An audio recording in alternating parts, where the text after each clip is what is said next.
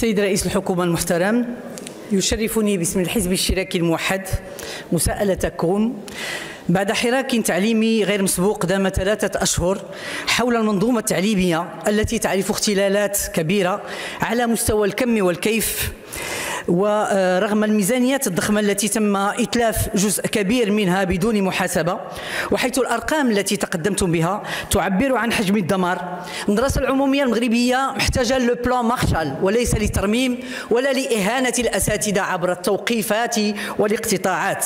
فالمدرسة سؤال إيديولوجي. فإلى أين تتوجهون؟ هل المدرسة بسرعات مختلفة تكرس التخلف والتبعية أم مدرسة الشعب التي تحرر ومجتمع المدرسة والعلم والمواطنة؟ إحنا قمنا هنايا بيوم دراسي حضروا لي 25 تنسيقية وخرج النداء ديال الرباط. أكدنا على ضرورة إرجاع الموقوفين وإرجاع القطاعات وتنطلبوا منكم تدخلوا باش ما يتمش تبخيص من الجودة ديال التعليم ديال الطب. ما يمكن لناش نشطبوا على سنة بجرة قلم. شكرا. المطلوب هو شكرا السيدة النائبة شكرا.